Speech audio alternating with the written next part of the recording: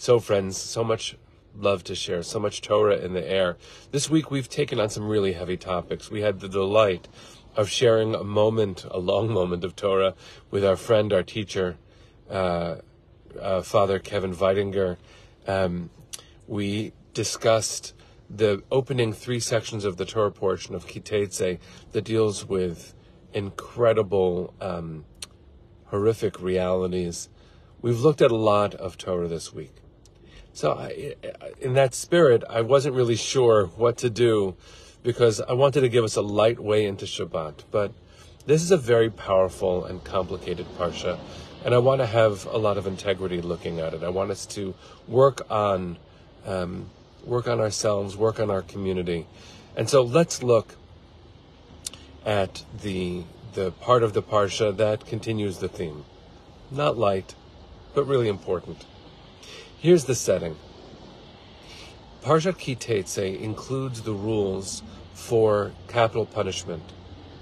What do you do when someone is accused of a capital crime and is committed to death? Now, before I continue the thought, you should know that that's the biblical setting, but the rabbis, generations later, 2,000 years ago, asked the question or impl- implicitly posed uh, a value which is to say, if one rabbinic court committed one person to death every 70 years, it was considered a murderous court in their own eyes. So much of the justice system in Jewish tradition is to avoid finding someone uh, culpable of the death penalty. So even though there is a lot of talk in the Torah and in rabbinic literature, especially in Masechet Sanhedrin, for those who are curious, about the death penalty itself, this parsha has a hint that leads to the rabbinic um, reticence, the moral judgment, actually, on the death penalty. And so we always have debates. You know, you ever see big debates in Jewish tradition, and we talk about the hot button issues in society. Well, that typically includes the death penalty you should know that the overwhelming Jewish tradition is that death is not ours to mete out, uh, and that that is God's to mete out.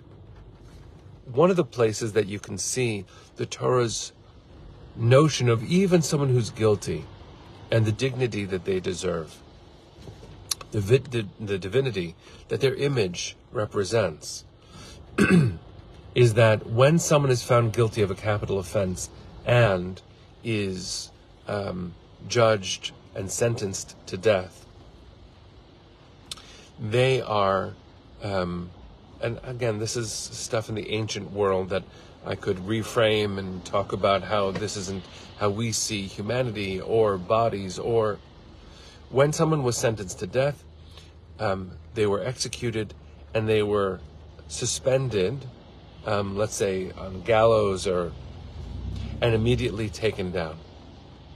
So, in fact, that's the biblical text. When someone is, to that extent, found guilty and then sentenced to death, um, their body was displayed and then taken down immediately. And the rabbis in the Talmud have a question earlier and later than the Talmud, but specifically the Talmud, they pose the question if the goal of this sentence was to deter other people from committing such a terrible act, why would you display the body of the criminal found uh, guilty? Why would you display it and then take it down? Wouldn't you display it and leave it up for people to see? And you can think of horrible scenes from intense movies and TV shows of someone whose body is left to show the power of the authority and the guilt of the judged. Um, certainly the Romans did this a lot. Um, comes the rabbis and they tell us a very different lesson about what justice represents and what to be a human represents too. It is an indignity to God to have the image of God displayed in such a way, say the rabbis. And what a powerful thing it is to see the rabbis in the ancient world reflecting on the dignity of a human body.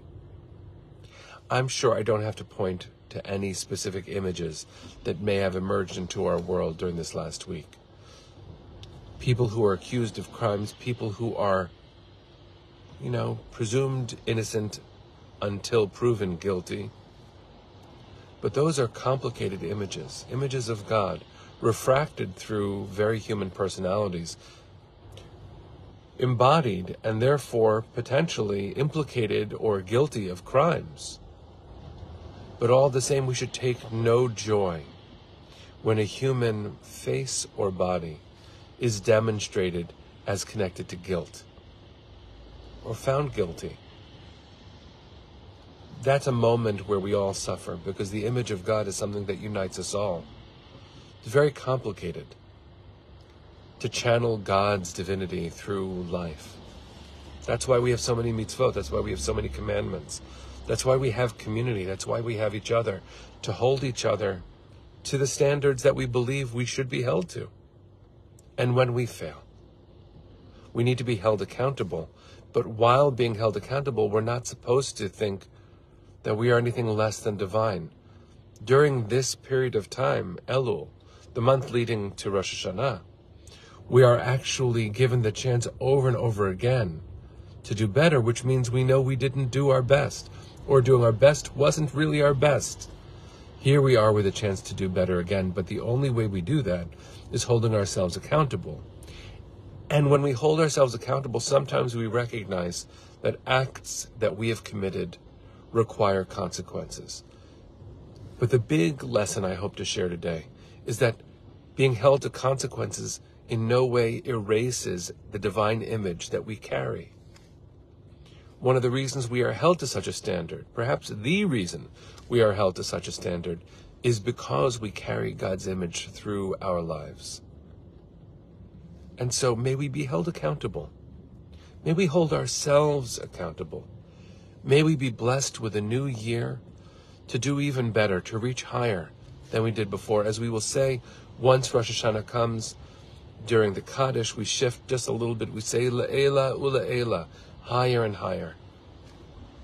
May we be blessed, friends, to reach higher and higher. And may we never see another human being as any less worthy of divine treatment. May we be careful about the way we hold humans accountable. May we remember that there's something that unites all of us. May we find each other. May we find our shared humanity more and more and more. May we never be casual about what it is to be, to be created in God's image. All right, friends, let's sing our way into a beautiful Shabbat. Ya la la la la, diddy diddy I la la la la, ay ay la la la. Bless you, friends. Have a good Shabbos. See you soon.